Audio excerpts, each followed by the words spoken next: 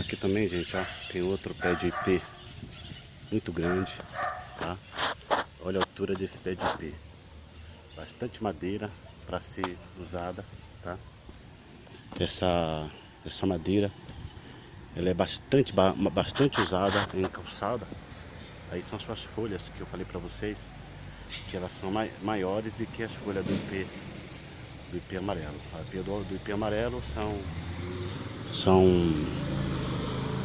são miúdas e do IP roxo são folhas graúdas, tá?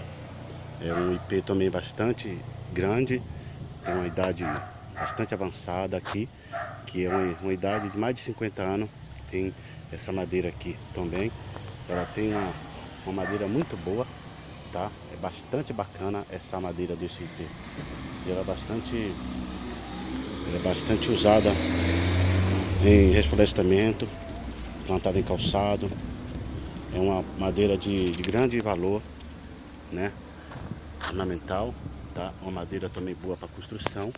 Ele é usada para tábuas, para fazer, para fazer estacas para fazendas, para cercas, né?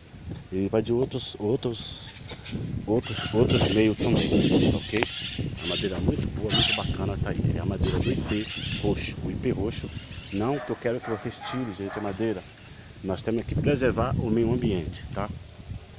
São uma madeira bastante antiga e com certeza nós temos que valorizar a natureza. Um forte abraço, fica com Deus, que Deus os abençoe grandiosamente as vossas vidas e um bom final de semana para vocês. Que cada dia Deus prospere as vossas vidas. Um abraço, fica com Deus e até o próximo vídeo para vocês. Um abraço.